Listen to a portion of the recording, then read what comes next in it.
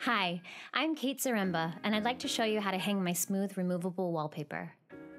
In this video, we'll cover all the basics, including how to wet the paper, how to place it and smooth it on the wall, how to hang around windows and doors, how to accommodate for light switches, and trimming.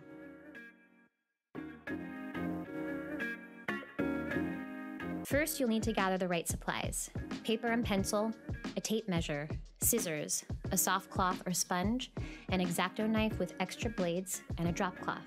You will also want to get a wallpaper tub from your local hardware store, or you can simply use your bathtub for wetting the paper. When measuring your space to order your wallpaper, take down the height and width of each wall. To ensure the pattern matches up from left to right, do not subtract for the windows and doors. I like to roughly sketch each wall, then mark these measurements down. This drawing will come in handy when you are hanging your wallpaper. Once you've got your measurements, head over to the wallpaper calculator on my website and figure out how much wallpaper you need to buy. You can choose 9 foot, 12 foot, or commercial grade lengths. Now it's time to get started. Place your first roll into the tub of water. Take the ends with both hands on either side, slowly pulling the paper up and out of the tub. Next, when you are roughly halfway through the roll, fold the first end onto itself. Continue to pull the rest of the paper out of the water slowly. Lay it down on a flat surface and fold the other half onto itself as well. Check that the entire backing has been wetted. Add a splash of water if you see an area that is dry. Keep the panel folded up while you set up your ladder. When you're ready, take the panel up the ladder. Unfold the top half and place it onto the wall. Take it up an inch above the ceiling line, making space for minor changes in wall height along the way. Use a damp cloth or sponge to begin smoothing. Press the paper into the crease between the wall and the ceiling, and keep smoothing gently. When you are ready, come down and release the bottom half.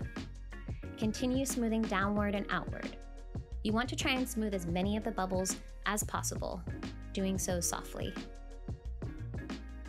Now you're ready for the next roll. This time, you will be matching it up on the wall with the pattern. There is a 3 fourths inch overlap to help with this process. Here you can see I am continuing the panel onto the next wall. At the corners, take your scissors and make a diagonal cut into the corner. This helps the wallpaper lay flat. Press into the creases. Now we have a window. I am measuring to trim to accommodate for a long skinny window making sure to adjust for the 3 4 inch overlap in the paper. Marking with a pencil, I am leaving 1 to 2 inches on the inside of the measurements for safety. You will do all of this pre-trimming before you wet the paper. Place it on the wall just as you have done before. When you get to the window, take your scissors and make a diagonal cut into the corner so that the paper can lay flat around the window frame. In this space, we immediately have a door, so I measured and pre-trimmed the next panel as well.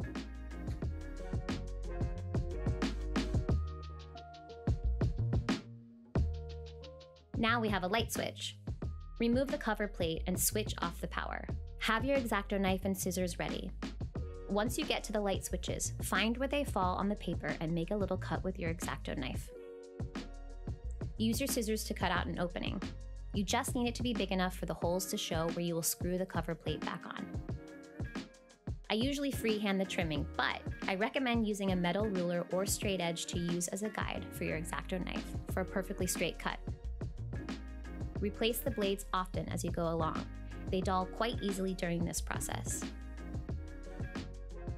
And there you have it. If you have any questions, comment below, or you can check out my FAQ page on my website, katezaremba.com.